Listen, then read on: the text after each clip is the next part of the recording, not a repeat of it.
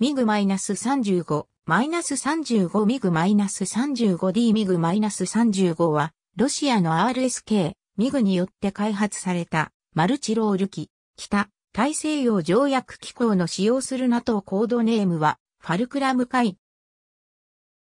非公式名称であるがスーパーファルクラムの愛称が用いられることもある。ロシアでは、同機を第4世代ジェット戦闘機に定義している。19A の試作型。試作されたミグ -35 に搭載された飛行中のミグ -35。アルズ系が確認できるミグ -29M2 と姉妹機と言える機体で時期により同じミグ -35 でも細かい外見、仕様が異なる。単座型のほか、複座型のミグ -35D も開発されている。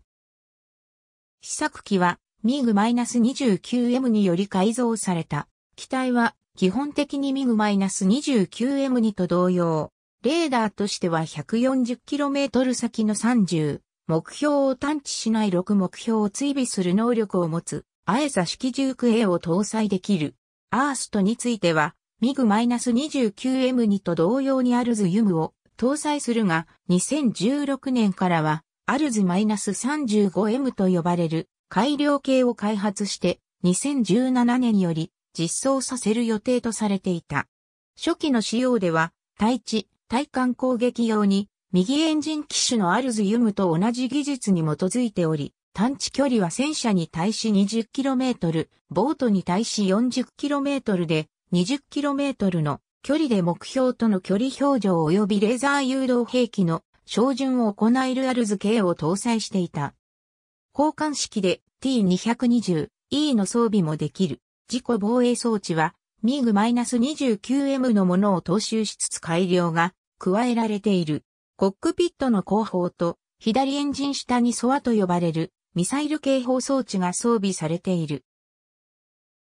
この装置はスティンガーやイグラといった携帯式防空ミサイルシステムを 10km、空対空ミサイルを 30km、地対空ミサイルを 50km から探知、飛来方向などをコックピットの多機能ディスプレイに表示、音声で警告を発するシステムである。このソアワモアルズ系と同様に交換式で、ポットの装備が可能である。また、電子妨害装置として、イタリアの ELT が開発した G、J バンド、E、H バンドで妨害を行える ELT568 も搭載できる。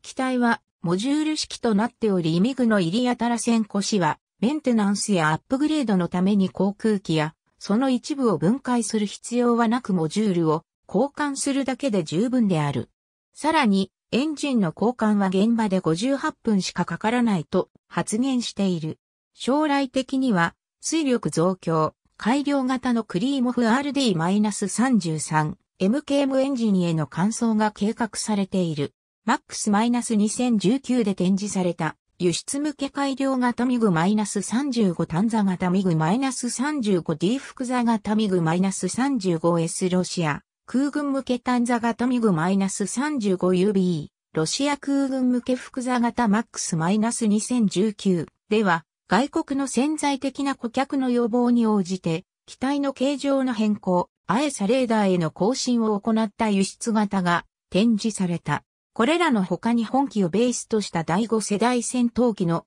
開発を検討しているとされる。南と東南アジア、ラテンアメリカとカザフスタンのようなロシアの近隣諸国が購入に関心を示しているという、エジプト保有するロシアと中国の旧型機を置き換えるため、2015年5月に46機を20億ドルで購入する契約に合意した。また、合わせて装備する T220 標準ポットを40機発注した。ロシア短期的には1個飛行体程度しか購入しない計画である。このため調達はミグへの救済策という面が強いとされている。調達数に関しては2012年当時は2014年から37機とされていたが、財政上の問題から2016年まで延期され、代わりに2016年までに16機のミグ -29SMT が納入されることとなった。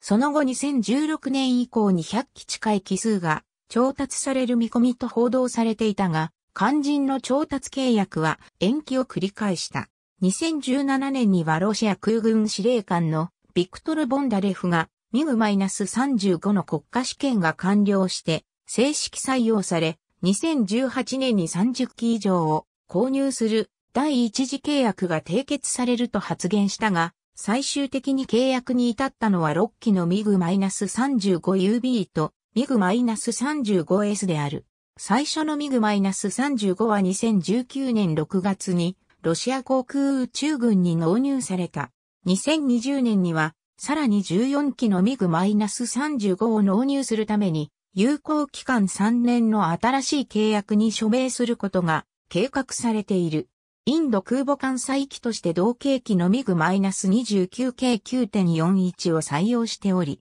多数の老朽化したミグ -21 の代替機を要求しているインドに対して代替機として提案が行われていた。しかし、ラファールが選定された。しかしその後もミグは売り込みを続けている。